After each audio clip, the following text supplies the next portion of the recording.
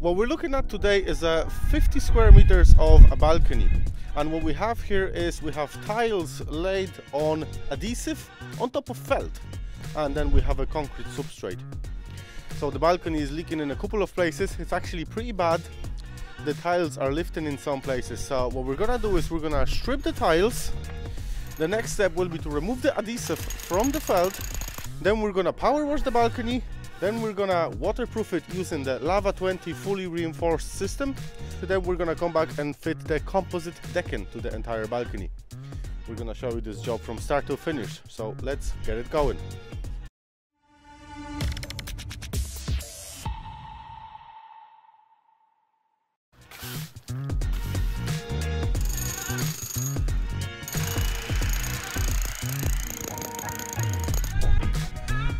So here we made a hole using the Kango and we were taking the tiles off.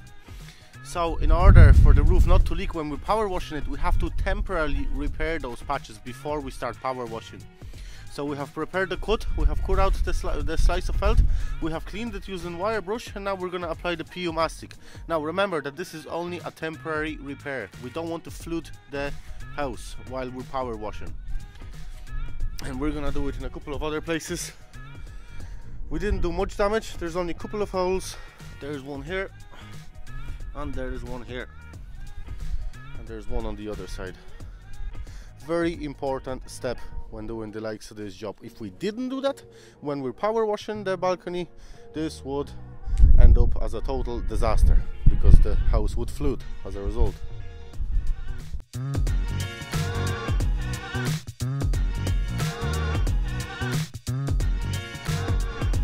now that we have the balcony power washed and clean what we have to do now is we have to dry it before applying the lava 20 and the way to dry it is that you get a towel every time we buy new towels and we dry every single drop of water off the balcony before we introduce the heat the problem with using heat on the likes of this is that once you introduce direct heat from a torch, like you can see over there, to the felt, it's going to release the oils from within the felt and it's going to bring them to the surface and that can affect the adhesion at the later stage.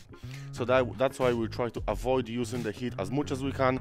So we take every single drop off the roof using rags and then we use the heat from the distance from about a meter away in order to avoid direct flame.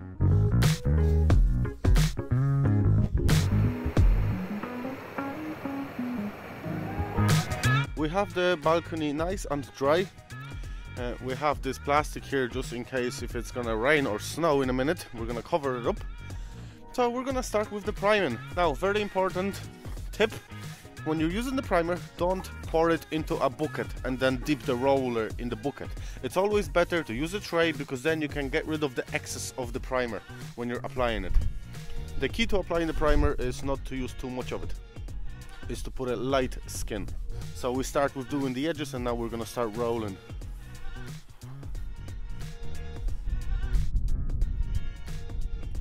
So there we get rid of the excess of the primer from the roller and we start priming.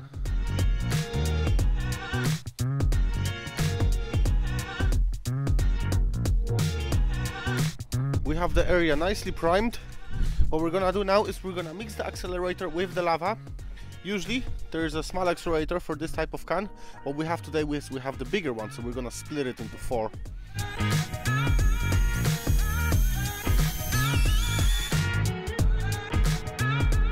We're gonna start with doing the edges and going underneath of the flashings.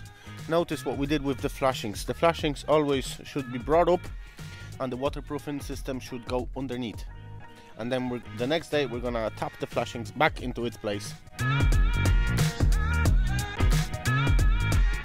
We have all of the edges done, so now what we're gonna do is we're gonna apply coat of the Lava 20 and then we're gonna follow with the matting and that's gonna be topped up with another coat of lava on top.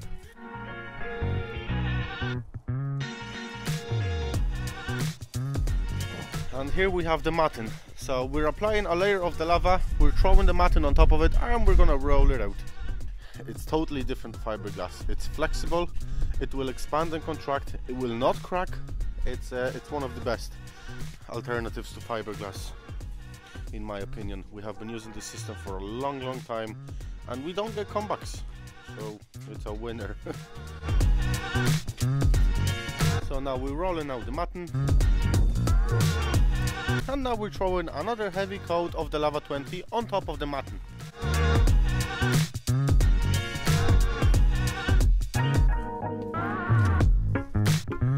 The matting is only required on bitumen based substrates.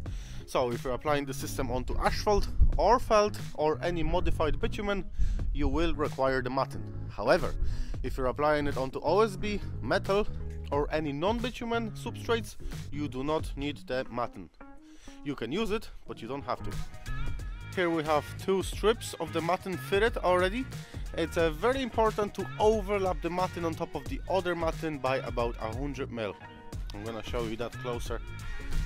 Can see it right there. So here we have the matting and it's overlapping by about 100 mil. And we have to do it across the entire roof. Sylvester is going around the edges So this, this balcony will take about 6 buckets of 15 kilos of lava, 2 primers and 6 small accelerators. That's all you need to do this type of job. Yeah, so now we have the balcony fully waterproofed with uh, wet on wet lava applied with the matting. All I have left is one square meter here. Then we're gonna follow with the decking.